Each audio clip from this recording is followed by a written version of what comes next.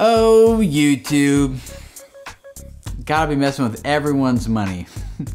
Today, guys, we're gonna talk about an update that YouTube recently made to their algorithm that decides what videos get approved for monetization, as well as wanna answer a few of the top common questions you guys have been asking regarding all that. Coming up. Hey guys, welcome to Video Creators. My name is Tim Schmoyer, and in case we haven't met before, this channel is just all about helping you guys grow your YouTube audience so you can spread a message that reaches people and changes their life. And you can do an awesome job reaching people, but if you're not making money to make it all sustainable, you will eventually have to quit reaching people and go do something else. So first, a little bit of back history here. Months ago, some advertisers did not like that their ads were showing up on content that they, they did not want to support. And so they pulled out all their advertising dollars from YouTube, and a lot of other brands did the same thing. And the revenue here on YouTube, both for YouTube and for creators, tanked. Thankfully, most of YouTube's efforts so far have been successful and these advertisers are coming back and money is going back to where it used to for a lot of creators. Part of that process though included YouTube becoming more strict in how they evaluate which videos are going to be suitable for most advertisers and which ones are not going to be suitable for most advertisers. So in August, YouTube launched new monetization icons and a new appeals process so that we as creators would have better transparency into what's going on with our videos and the money that our channel is generating. Not because they're trying to figure out how to take money away from creators. Remember, like if you're not making money on your videos, neither is YouTube. It's a revenue split. So YouTube is motivated to figure this out out, right? But they first want to make sure that advertisers keep spending their money here. So you and I and YouTube continues to get paid. The system that they put in place to determine what gets like a green icon, which is like thumbs up, this video is being monetized, or a yellow icon, that system uses machine learning, which means that it's going to get better and improve over time. The more data it gets, the more it learns what's appropriate, what's not appropriate. But right now, it's not super smart. So if you feel like your video has been misclassified, you can submit a manual review and appeal that decision decision and have a human being actually look at your video and decide, yes, suitable for all advertisers or Nope, still not suitable for all advertisers. Apparently, the system is learning because about a week ago, YouTube announced that they made a big update to the system that has resulted in a 30% reduction on the number of videos that are receiving limited ads. So that's millions of videos now that are becoming fully monetized. But obviously, you and I still get videos that are being misclassified as not suitable for all audiences, and we're like,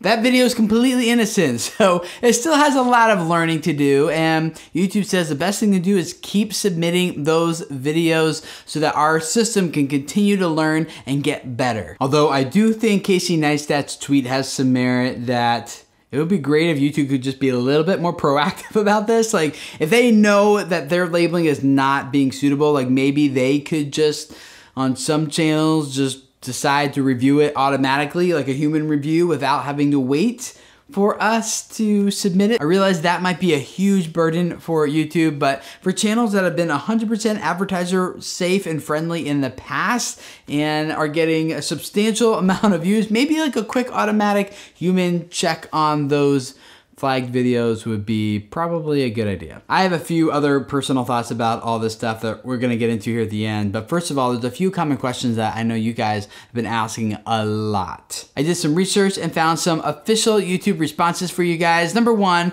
will YouTube ever eliminate the appeal restrictions that they currently have? YouTube's answer is, eh, probably not. They said we have hundreds of millions of videos and we have to set some sort of parameters on which videos we can take human time to evaluate and which ones we can't. And right now, our team deems that videos that get 1,000 views in the past seven days, those are the ones that we can spend our time manually reviewing, which I know sounds like a slap in the face to everyone else, but honestly guys if you're in that category you're not getting a thousand views in the past seven days you're not missing that much revenue. Like i it's it's not a lot. Maybe a dollar two dollars something like that. And i realize like every dollar works and it's probably less about the money and more about like the mental feeling of like I put a lot of work into this and I could at least got a dollar or two and I'm not going to now. And it's just more like a, come on YouTube, heart, oh, uh, knife. Oh. Remember, don't take this personally. This is like where I see a lot of creators are just getting really upset thinking that YouTube is out to attack them. YouTube is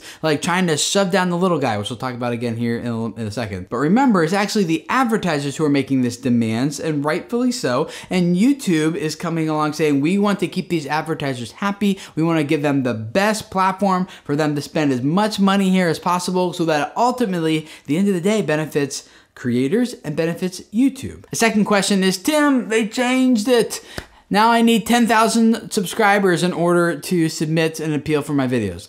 That's actually not true. You actually need 10,000 subscribers in order to submit in either private or unlisted video. Another question is, I submitted my video for appeal. It came back being confirmed as not suitable for all audiences and it's not true. How do I re submit that video for another appeal? Unfortunately, right now, guys, the official answer is you can't, which I know stinks for some of us, but know we're all really hoping the system gets better fast. Another big question is my video is deemed not suitable for all audiences, has that yellow icon, and I feel like that's causing my videos to be penalized in search and suggested video, and they're just less discoverable overall across YouTube.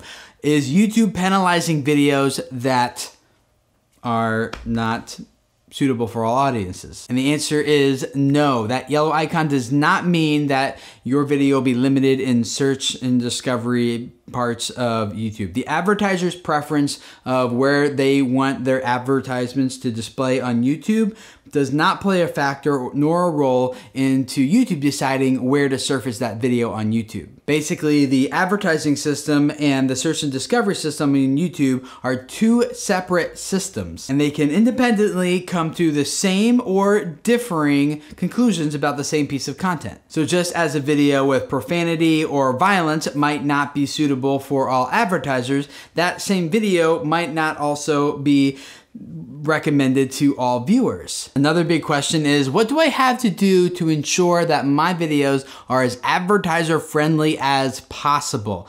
And I will put a lot of links in the description of this video here on YouTube that you definitely, all creators, you guys need to familiarize yourself with the content in these links down there. The advertiser friendly guidelines and best practices are outlined down there. I have another video that's linked up down there as well that will walk you through those things. You just, it's just a little bit of education needs to happen. But maybe you say, Tim, I already know what advertiser friendly content is and I don't want to make it. Like, do I need to change everything I'm doing now on my channel just in order to suck up to the advertisers and do whatever they say? Like, are all the channels basically going to become like the same channel now? My personal answer to that is no. You should continue to do exactly what you're passionate about doing and serving the people that you're passionate about reaching with the message that you're passionate about spreading. Put your audience first before money. Because remember, just because you have a yellow icon and it says not suitable for all advertisers, that is not the same thing as saying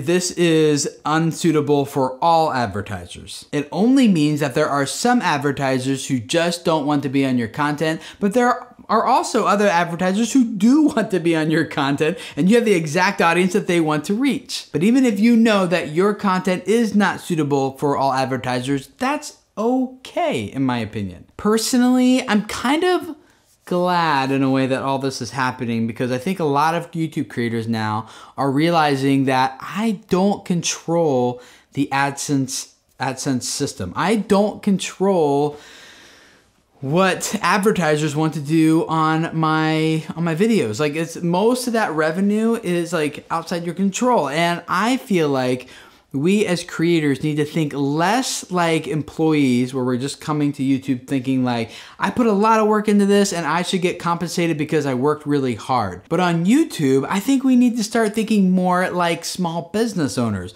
And it's not just exchanging hard work for a paycheck, which is obviously part of it, but it's also thinking more like how do I exchange value for value? How do I deliver good value, but also set up ways and avenues for capturing good value in return. I really want you guys as YouTube creators to control the revenue streams around your content. I'm not saying AdSense is bad. I take AdSense. I like it, but if that went away, we would still be okay because it's actually like a small percentage of our overall income for my family and my business that comes in through YouTube. And I'm not going to get into all of that here because I've already talked about that a lot in the past. If you want to hear how this channel went from zero to 3,000 subscribers in six months and at that point was generating $10,000 a month with 3,000 subscribers, there's a free podcast episode of mine down, linked up there on there in the description of this video. Go check that out, listen to it completely for free.